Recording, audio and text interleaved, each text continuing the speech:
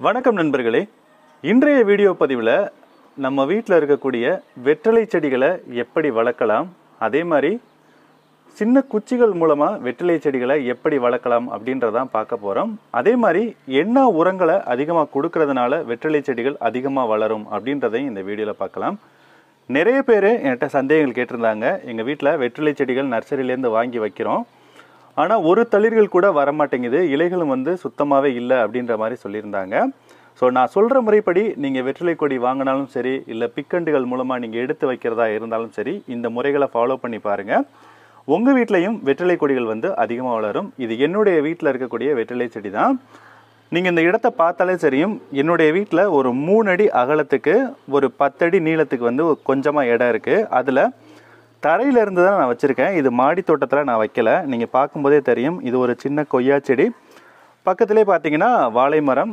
இதுக்கும் பக்கத்தில் பார்த்தீங்கன்னா எனக்கு வந்து கீழே தரையிலிருந்து அந்த வெற்றிலை செடி வந்து வளருது. பாருங்கள் எவ்வளோ பெரிய இலை இருக்குன்றத பாருங்கள் ஸோ வெற்றிலை செடி வளர்க்குறது அப்படின்றது ரொம்பவே ஈஸி தான். எப்படின்னு பார்த்தீங்கன்னா வெற்றிலை செடியில் உங்களுக்கு இந்த மாதிரி காம்புகள் இருக்கும். நான் நல்லாவே காமிக்கிறேன் பாருங்கள் ஸோ இந்த மாதிரி வேர் பகுதிகள் ரொம்பவே அதிகமாக இருக்கும். அந்த வேர் பகுதி பக்கத்தில் பார்த்தீங்கன்னா உங்களுக்கு சின்னதாக இதே மாதிரி பிக்கண்டுகள் வெடிச்சு வரும்.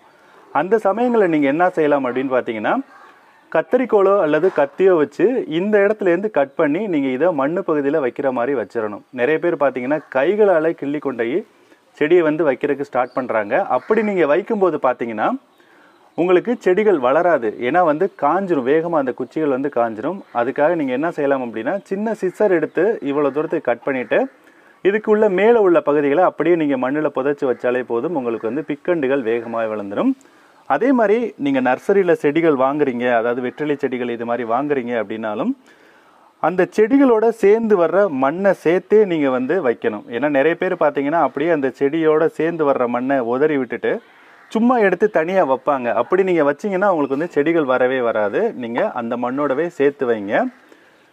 வெற்றிலை வந்து நல்ல குவாலிட்டி அதாவது பெரிய பெரிய இலைகள் வரணும் அப்படின்னா நம்ம இயற்கையான முறையில் வீட்டில் இருக்கக்கூடிய ஒரு சில உரங்களை மட்டுமே கொடுத்தாலே போதும். அதுலேயும் குறிப்பாக பார்த்தீங்கன்னா நம்ம கிச்சனில் இருக்கக்கூடிய வேஸ்ட்டுகளை மட்டுமே கொடுத்தா போதும். அதாவது காய்கறி கழிவுகள் நம்ம வீட்டில் இருக்கக்கூடிய அந்த அரிசி கலவுற தண்ணி பருப்பு கலவுற தண்ணி இதுகளை மட்டுமே கொடுத்தாலே போதும். முக்கியமான உரம் அப்படின்னு பார்த்தீங்கன்னா இந்த செடிகளுக்கு வெங்காயத்தோல் வந்து ரெகுலராக கொடுத்துக்கிட்டே வரலாம். வெங்காயத்தோலில் வந்து மேக்னீசியம் சத்துக்கள் அதிகமாக இருக்குது நான் போன வீடியோக்கள் நிறைய வீடியோக்களில் சொல்லியிருப்பேன். என்னுடைய ரோசா செடிகளுக்கு வந்து வெங்காயத்தோல் அதிகமாக நான் யூஸ் பண்ணுறேன் அப்படின்னு நான் சொல்லியிருந்தேன். ஸோ நம்ம வெங்காயத்தோலை யூஸ் பண்ணும்போது பார்த்தீங்கன்னா அதில் இருக்கக்கூடிய சத்துகள் நம்மளுடைய செடிகளின் வேர்களுக்கு அதிகமாக போய் சேரும். இலைகளும் வந்து அடர்த்தியாக இருக்கும். அதே மாதிரி இலைகள் வந்து பெரிய வெற்றிலைகளாக வந்து நமக்கு கிடைக்கும். நீங்கள் பாருங்கள் இது செவுத்தில் அப்படியே படர ஸ்டார்ட் ஆயிடுச்சு உங்களால் முடியும் அப்படின்னா நீங்கள் ஒரு இதுக்கு ஒரு பந்தல் கூட நீங்கள் போட்டு விடலாம். நான் பந்தல் எதுவும் போட்டு விடலை. செவுத்துலேயே வந்து இது வேர் பிடிச்சி போயிட்டுருக்கு பாருங்கள் ஸோ நான் ரொம்ப ஹைட்டு வந்துருச்சு. அதனால் எடுத்து விட்டேன். அது அப்படியே கீழே வந்துருச்சு. இதில் பார்த்தீங்கன்னா தெரியும் ஒரு முல்லை செடி ஒன்று வச்சுருந்தேன் கீழே அது பக்கத்தில். அது வந்து மேலே படர ஆரம்பிச்சிருச்சு. இதை தான் நான் வந்து மேலே வந்து பந்தலுக்கு எடுத்து விடலாம் அப்படின்னு இருக்கேன்.